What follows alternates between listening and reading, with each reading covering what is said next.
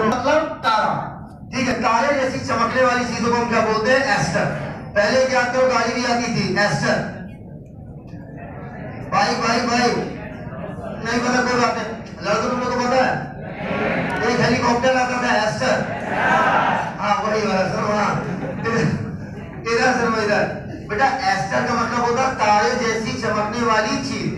हैरानी की बात यह है, चाचा हैरानी की बात यह है कि जब सेंट्रोसोम अपोजिट पोल पर जाते हैं क्लियर तो देखा गया तो वो तारे की तरह चमकते हुए दिखते हैं।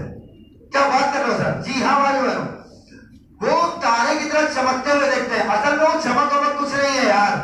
वो चमक वमक नहीं है।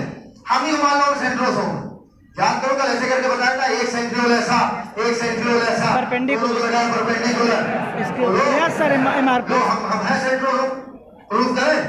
प्रूफ करें हम सेंट्रोसोम करिए सर इधर देखो एक अच्छा दोनों सेंट्रोल परपेंडिकुलर है या नहीं? है अबे सेंट्रोसोम कैसे बनाए? थे perpendicular M R yes sir देखो हम भी है सेंट्रोसोम बोलो कैसे? कैसे? Centriole centriole perpendicular yes sir अरे यस सर अब जब तुम इसे सेंट्रियोल इसे सेंट्रियोल परपेंडिकुलर फेल सकते हो तो अपने पूरी बॉडी को सेंट्रियोल सेंट्रियोल परपेंडिकुलर अरे यस सर पसीना निकली रहा होता है। एमॉर्फस सबसेल सेंट्रोसोम बोलो। यस सर बताओ बेटा शोले पिक्चर में ठाकुर का क्या कट गया? हाँ। सेंट्रियोल। सेंट्रियो लॉजिक क्लियर है नहीं क्लियर यस सर बोल ऐसे करो centriole centriole centriole centriole perpendicular perpendicular अरे काकरो इधर से। एमॉर्फस सबसे तुम्हारा पसीना हो गया पूरा क्या चला है सेंट्रोसोम पक्का? पता है होता क्या बच्चा? याद करो जीटू में ट्यूबलिन बनी थी। यस सर बेटे याद करते रहो। ठीक है कम समय में इसको निपटा सकते हो। बहुत ही ड्रामेटिक वे में बहुत ही भयंकर दिमाग में चला जाएगा। गलती हो ही नहीं सकती। वरना बोर्ड में खूब टाइम लग जाएगा तुम सीख ही नहीं पाओगे ट्यूबलिन से मैंने क्या बताया था? वो एक प्रोटो फिलामेंट प्रोटो फिलामेंट शायद माइक्रोट्यूबुल बनाता है। यस सर पक्का? बस बेटा हो गया काम।